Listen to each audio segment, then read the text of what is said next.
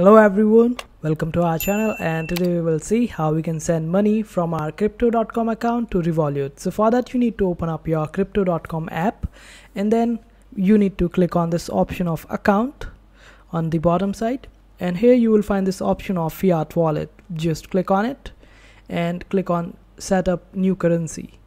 Now you need to set up this new currency as per your country's native currency. It can be euro usd any currency of your choice. So just set up a new currency. It might take up to few days and it may also take a week for you to complete this process. After that uh, when you go back on your home and suppose you have bitcoin in your wallet then you can just simply click on bitcoin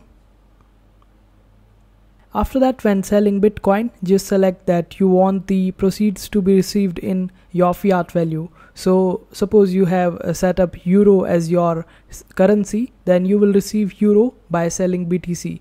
So after that you will click on this option of transfer and then just click on this option of withdraw and after that just withdraw it to your bank account and while giving out details to your bank account make sure that you give information of your Revolut card and this way you will be receiving money in your Revolut account and this is how you transfer money or send money from crypto.com to Revolut account.